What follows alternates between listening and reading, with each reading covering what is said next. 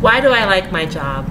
I like my job because of the people and the environment I work with and how they remind me of family. It's not just a job to me. I learn, I'm actually encouraged to progress and move towards success. The doctors are amazing, they care, and it just feels like family. I've been working at my job for 17 years now, and I wouldn't trade my job for any other place because this is where I belong.